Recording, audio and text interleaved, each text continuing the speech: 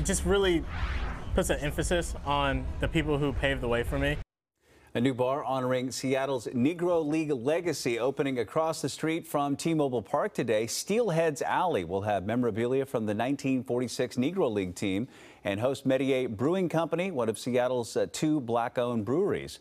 Hatback Bar and Grill opening right next door. The name honoring one of the Mariners' greatest players, Ken Griffey Jr. Both locations replacing the old Pyramid Brewing building.